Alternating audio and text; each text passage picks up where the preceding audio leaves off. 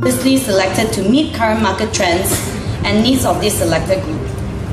As you may already know, this Desa Coalfield Township, together with its adjacent areas, Amanpuri, Amberton Hills, Puncak Alam, Saujana Utama, uh, Banda Desa Coalfields, comprise of more than 10,000 households and shops, with a population exceeding 100,000. The population in these nearby townships are mainly middle tier income, uh, middle income tier, which bodes well with our target market.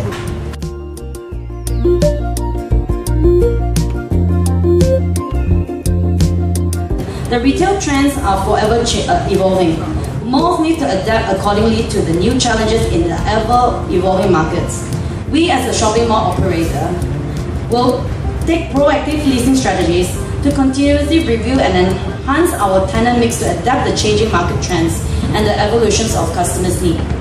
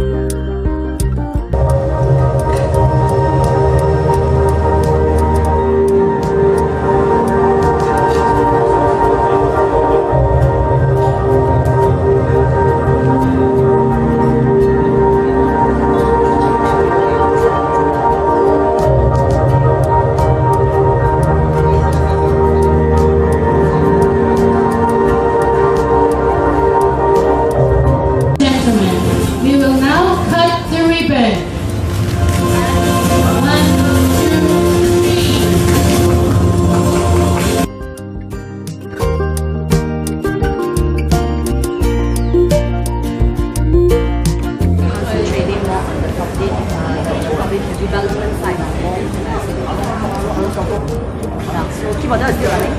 Um, so under Kip itself, we have the development division, we have the uh, retail management, which is uh, and Kima, and then we have the hospitality arm, which is Kip.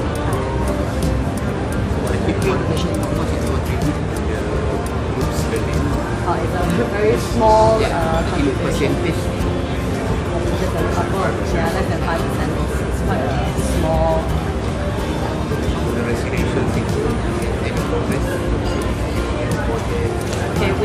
Under the Kip Residential Development Arm, um, we are handing over one of our development uh, uh, Central of We have 466 units of uh, closed Soho, Soho units. Uh, looking at handing over third quarter this year. We also have another development in um, JB called Escape, and that is we are expecting the expected handover is also uh, by third or fourth quarter this year.